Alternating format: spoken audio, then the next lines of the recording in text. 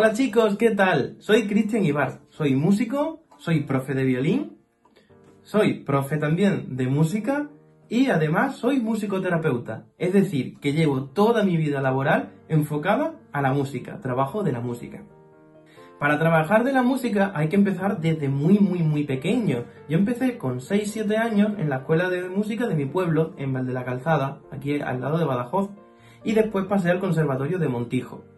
Y una vez allí, realicé los estudios en el Conservatorio Superior y acabé la carrera de violín, para luego especializarme pues, en ser profe, en ser musicoterapeuta y en eso, en dedicar mi vida a tocar, haciendo conciertos y a enseñar. Bueno, pues me ayudaron muchas personas, como han sido todos los profes que, que he ido teniendo, como por ejemplo vuestro profe Pedro, me animó muchísimo a seguir en este camino, otro profe que yo tuve en la escuela de música de Val la Calzada, que se llama Sergio, que también me ayudó mucho, mucho, mucho, y todos los profes que me he ido encontrando en el camino y muchos amigos que hemos hecho en estos años de, de trayectoria. Recuerdo con mucho cariño muchos conciertos, todos son especiales, pero voy a recordar dos.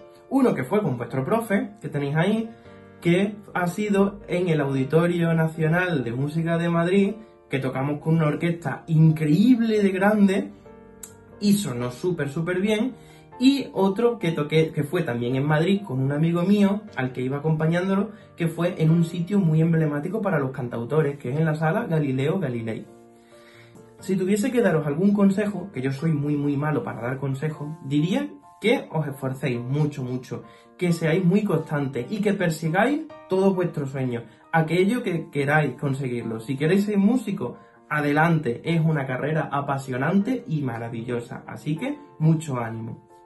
Os voy a dejar por aquí ahora un vídeo que hice eh, que tengo por YouTube. Además de tocar el violín, toco varios instrumentos y aquí os dejo una prueba de ello. ¡Que lo disfrutéis!